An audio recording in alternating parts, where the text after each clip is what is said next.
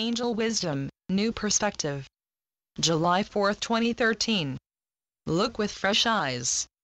Sometimes when you look at a challenging situation from a different perspective, it seems to almost heal itself. It helps to see others' points of view or to imagine how those who are making it challenging are dealing with things. Don't take things personally as it is seldom about you or the situation, it is usually about them.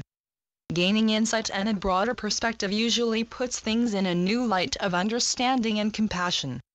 Ask yourself, how can I make the situation better? And the law of attraction will help bring you the answers that you seek. Be open to any ideas or inspirations that come your way as these are the answers to your prayers. Deal with things from with compassion, understanding and you will do what is right and best for all concerned. Be true to yourself, and have confidence in your decisions.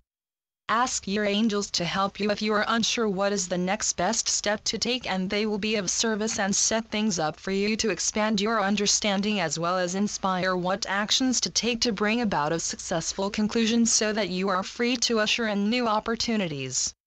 Affirmation As I look at my life from a new perspective, I gain insight and clarity into any challenging situations and can then see them to a successful completion.